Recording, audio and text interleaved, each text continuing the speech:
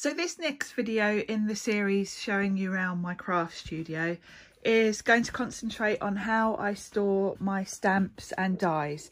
I've already mentioned um, the containers I use. These were from Muji. They've discontinued them, um, which is a real shame because they're quite long. I think they're about 30 centimetres going back um, and about 15 across from memory. I'll, I'll check those measurements.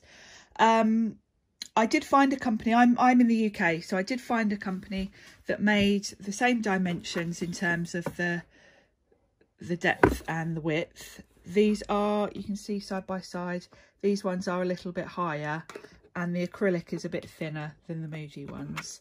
Um, so the Muji ones are better in my opinion, but they don't make them anymore, certainly not in the UK um, I suppose people, they're sized for CDs and I suppose people don't really buy CDs anymore, do they? So um, it makes sense why they've discontinued them, but it's a bit frustrating for us crafters.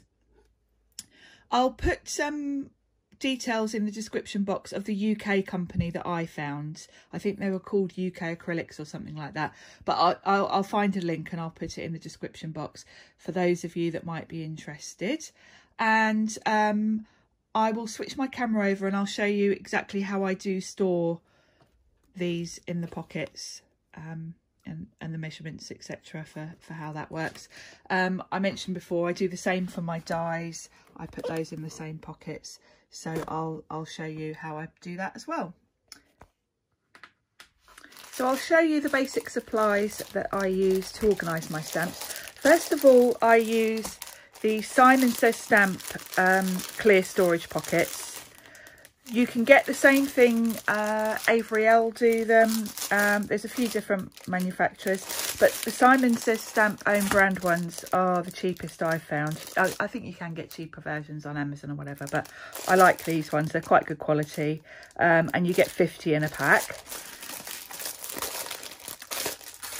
And what I do is I cut a piece of white card to fit inside those pockets. I've written down the measurements here, um, depending on whether you use centimetres or inches. So it's roughly 13 and a half by 18 and a half in centimetres or five and three quarter by seven and a quarter if you use inches. And what I do is I get my piece of card and then I use my label maker to create a label to pop on. I'll show you the stamps first actually. So for my stamps, I first of all cut a piece of that white card and then I cut a clear label using my brother. This is the Brother P-Touch. I'll find a link for it and add it to the description box. And then I buy, um, you can get clear or white. I use white for some things in my room. For these I use clear. And then I also cut a piece of acetate the same size as that white card. Then I can remove the stamps from the packaging and just pop them straight on that acetate and then they fit nicely inside my stamp pocket.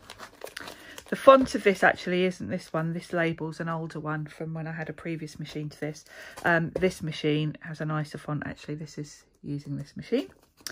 So for dies, I do the same thing. I cut a white piece of card and then I buy magnetic sheets in A4 sheets and then I cut it to size. Um, obviously for this one die, I don't need to cover the whole front, so I just did a strip. If I've got a die set like this one, where I've got lots of dies, then I'll cut a piece to cover most of the front so that I can um, pop my dies on if I've got lots and they will all fit. So that's how I store my dies, um, or my Thinlit dies that is. Um, and it's a really good system. For stamp sets where they might be larger, um, I know some of the stamp sets um, come in a larger format than this and you can get larger storage pockets but obviously for me I want them to fit in those same Muji um, acrylic boxes so if I have got a set that um, is larger than this I just trim it in half and I put it in two separate packets so that I can keep them all in the same size storage pockets. So that's how I store my stamps and dies. Hopefully that's helpful if anyone wants to give this system a go. So I hope that little insight into how I've I store my stamps and dies has been useful to you. I'll put details in the description box of all the products I can find and I'll put a link to that UK company that sell those acrylic boxes in case anyone's interested in getting some of those. As I mentioned before, this video is one in a series of a tour around my craft studio. This is just one area. So if you're interested in seeing the rest of my room, check out my other videos and hopefully I'll see you soon.